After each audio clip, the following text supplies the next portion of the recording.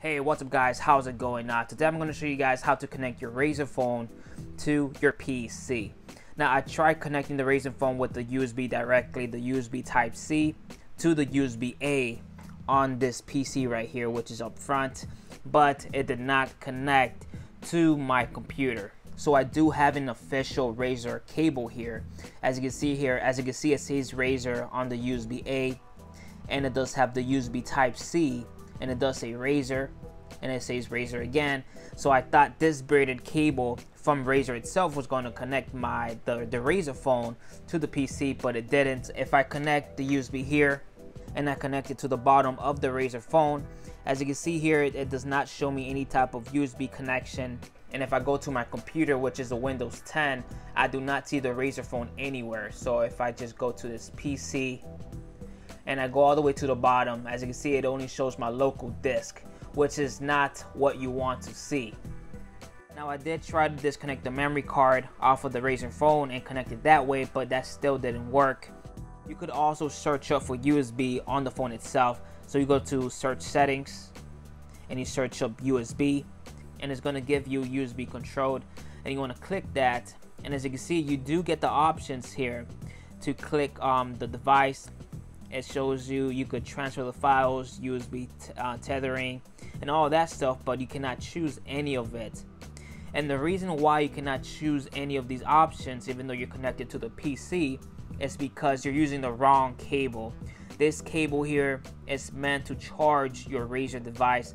This specific cable I got it off of my Hammerhead headphones my Razer Hammerhead headphones.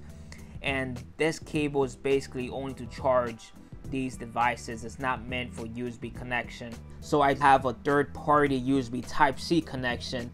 This I I forgot where I got this cable from but this is the cable that ended up connecting the phone to the PC with no problem at all. Try buying a USB Type-C that could connect with the PC uh, try try searching on Amazon. You, you, you can find some quality USB Type C cables try searching there. Ask the seller if you could connect the USB Type-C to a computer connection and see what they say because this USB worked fine for me. Alright, so I just connected the third-party USB Type-C and as you can see here, it gives me all of these options. Before it was all grayed out, but now you could use it with no problem. It says USB controlled by connected device or this device.